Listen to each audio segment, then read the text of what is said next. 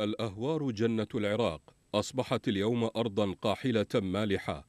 ففي الوقت الذي كانت المسطحات المائية جنوبي العراق مصدرا حيويا للحياة والتغذية للعراقيين باتت اليوم سلعة نادرة بعد انخفاض مستويات المياه بشكل مثير للصدمة.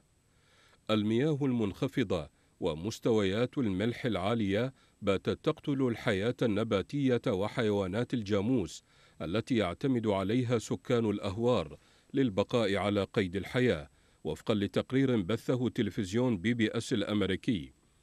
التقرير أظهر أيضا كيف أن القصب تحول إلى اللون البني الأصفر وهو علامة على موت الحياة النباتية في ظل انخفاض مستوى المياه بمقدار 84 سنتيمترا وهو ما انعكس سلبا بارتفاع نسبة الملوحة أيضا إلى 1800 جزء في المليون.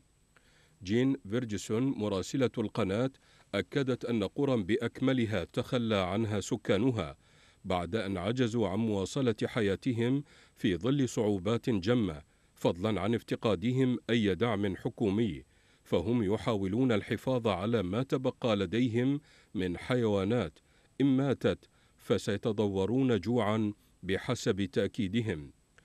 انخفاض مستوى المياه أثر أيضا على الزراعة في العراق حيث يكافح مزارعو القمح في نينوى للحفاظ على محاصيلهم في الأرض الجافة.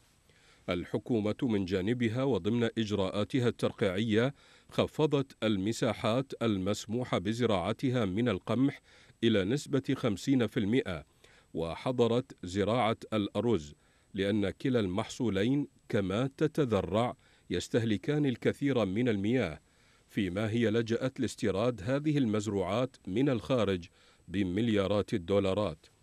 أوضاع ستؤدي على المدى الطويل إلى أن يتحول حوض ما بين النهرين الخصب في السابق إلى وعاء غبار غير قابل للسكن وفقا لوصف قناة بي بي أس. ومع توسع الصحراء فإن هذا يعني مزيدا من الفقر والنزوح والتغيير في طبيعة الأرض. العراق الدولة التي كانت تصدر ذات يوم الغذاء إلى بلدان أخرى بات يعتمد بشكل متزايد على الواردات بسبب التخطيط السيء والإدارات الفاسدة.